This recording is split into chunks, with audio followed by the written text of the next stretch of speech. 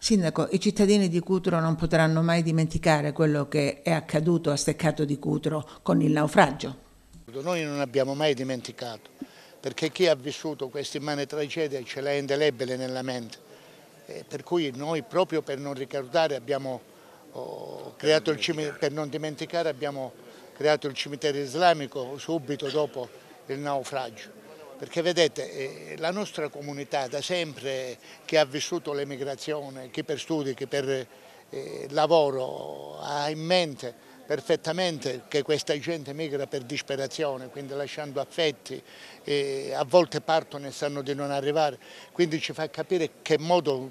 vivendo, che come vivono nelle loro realtà. E quindi questo va nella direzione che noi come popolo di Cutro siamo stati accoglienti fin da subito anche perché, ripeto, non abbiamo inteso l'accoglienza come dare il, piatto di pasto o la coperta. Noi siamo già avanti, abbiamo, siamo all'integrazione e agli scambi culturali perché c'è una grossa comunità islamica. Quindi noi, eh, io stesso sono stato in Marocco in giugno e poi a seguito del terremoto qui abbiamo avuto un momento eh, di fraternità comune pregando ognuno con il proprio credo eh, e abbiamo avuto la presenza anche del console marocchino di Napoli, proprio per dire che noi ci siamo come comunità non cutrese, ma come comunità di ogni nazione, quindi Cutro questo credo che l'abbia sentito. E le cose che ci disgregano non mi appartengono, noi dobbiamo essere solidari contro la drangheta, dobbiamo essere solidari contro l'indigenza, contro i, i disservizi, contro quello che ci manca perché vedete quando poi si mettono in atto queste diatribe perché qui, perché qui, io ritorno a dire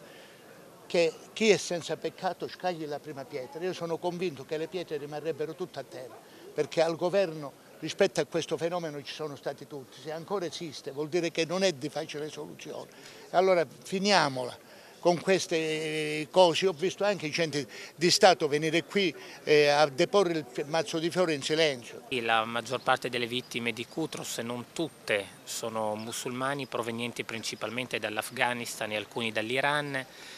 Eh, continuiamo a piangere queste vittime perché dalla strage di Cutro abbiamo sempre detto mai più, ma se andiamo a vedere i numeri ci sono sempre più sbarchi, sempre più